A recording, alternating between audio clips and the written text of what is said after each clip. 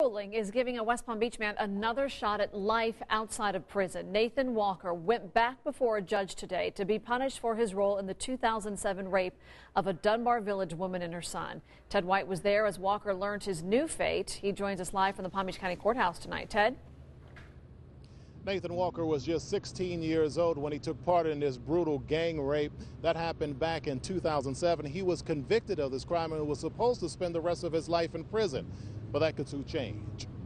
Nathan Walker sits in prison serving a life sentence that was handed down in 2009. He was one of at least four teenagers who raped a woman in the Dunbar Village housing project in West Palm Beach in 2007.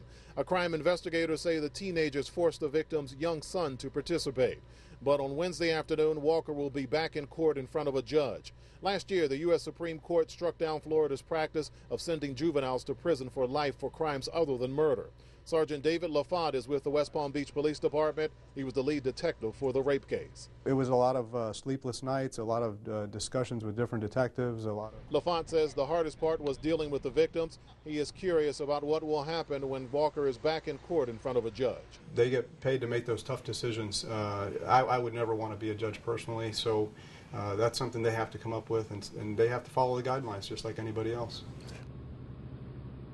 And a clarification there, you probably heard it. Nathan Walker is expected to be at, in court on Wednesday afternoon, so in a few days. As for the other teenagers, Avion Lawson, he cooperated with West Palm Beach Police and received a 30-year sentence. Tommy Poindexter was 18 years old at the time of the crime, so he is not considered a juvenile. Jakaris Taylor was 16 at the time of the crime.